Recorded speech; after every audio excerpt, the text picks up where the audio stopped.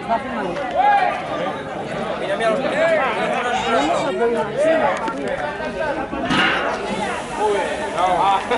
No lo has hecho tan mal, ¿eh?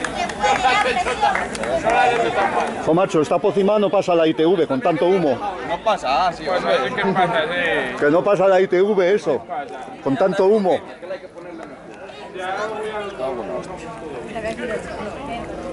Ahora tenemos que echar ahí otro palo. Está nivelado ya esto. A ver, en principio sí, pero no vamos a dar mucho más porque se va. He hecho agua ya. Es que ahí...